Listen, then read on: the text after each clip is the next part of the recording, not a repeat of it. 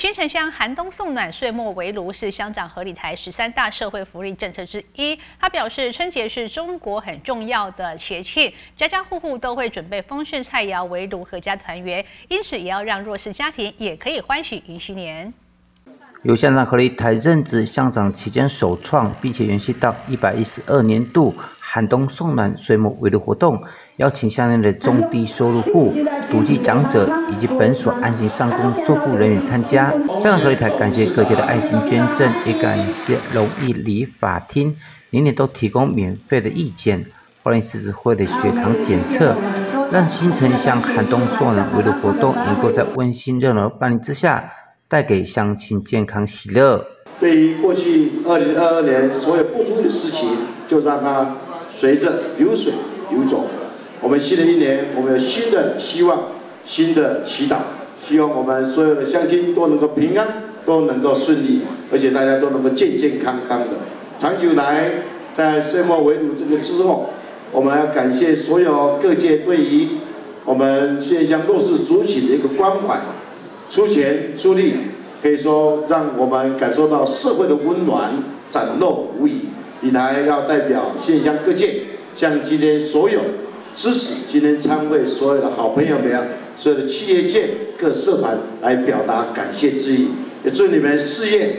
啊飞黄腾达，事事顺遂，短叹吉，每一年都来给我们关心。现在我邀请我们所有的乡亲。中用最热烈掌声，谢谢他们，谢谢。感谢所有的爱心团体，有你们真好。六位福根企业在百人当中前来参加，同时也相当的感动，有许多企业家的爱心一起来响应。我们花莲的这些企业啊，每一年在地打拼，创造就业机会，跟地方一起成长，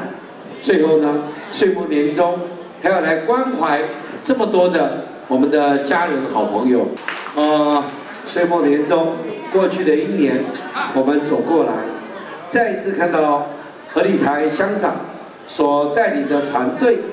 让我们新城乡能够发光发热。接下来未来的四年，还有更多的观光旅游企业集团会进入我们新城乡，创造更多的就业机会，让我们的子女能够在地来服务。让家家户户都有更多的机会来团圆。我想何乡长对我们新城乡地方的事务非常非常熟络，他又愿意全心的投入，跟他的夫人美华一起啊，来为地方做更多更多的这些建设以及公益。我坤起啊，真的很感动。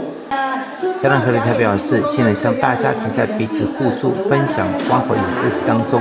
哥哥拥有爱心以及被爱的能力，因而在岁末之际办理寒冬送暖围炉岁末活动，感谢各界的爱心捐助，回馈社会，并且协助乡公所办理这次的活动，也感谢绿福分期非常的照顾新城乡亲，现场还加码捐赠加菜金。